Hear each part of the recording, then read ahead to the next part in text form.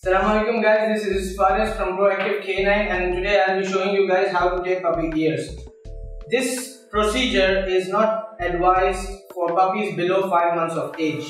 This you can do after the puppy has crossed the age of 5. Then you need to consider taping your puppy's ears because the fold and the bend usually goes by the age the puppy reaches like around 5 months. But in case the fold and the bend is not going, the ears are not going all the way up you have to consider taping your puppy's ears, which is after 5 months of age.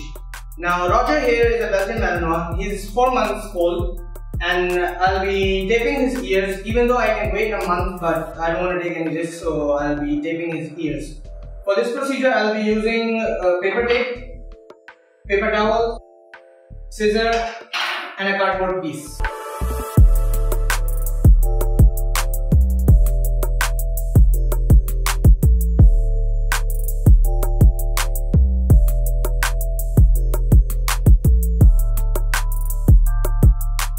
So I have folded these paper towels and I've taped them together, making this roll. It should be quite, it should be a bit thick.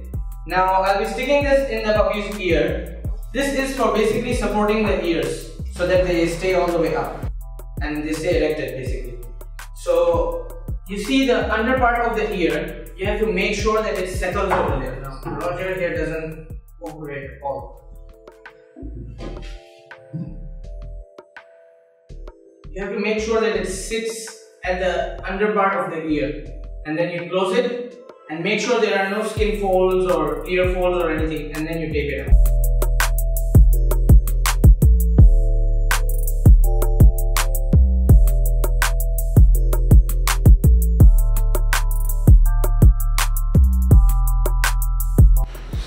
So as you can see I have used those folded uh, paper towels to make a support for the ears to stay all the way up, all the way erected.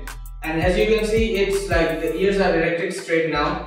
All I have to do is use this cardboard to connect these ears together so you get the perfect straight look and the perfect straight ears.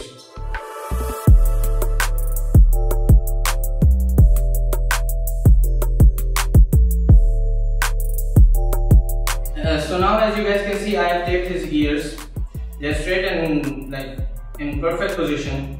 I have to let it be there for like 20 days. In case this comes off, you need to put it again and then start counting the 20 days again.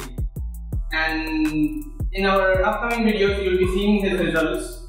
He's our new PPD dog, personal protection dog, attack dog, you can say.